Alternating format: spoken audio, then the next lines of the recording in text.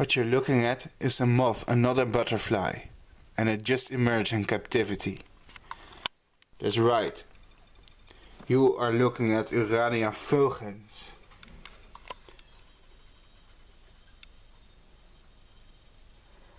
It's a kind of Urania moth from South America.